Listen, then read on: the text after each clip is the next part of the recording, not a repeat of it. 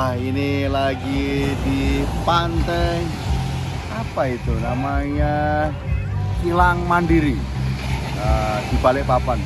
Pantainya keren, pasirnya putih memanjang, tapi nggak panjang sekali ya, tapi bisa untuk mandi.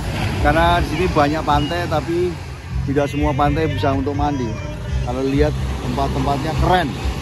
Nah, pantai Kilang Mandiri Balikpapan, pesonanya mantap sambil minum air kelapa.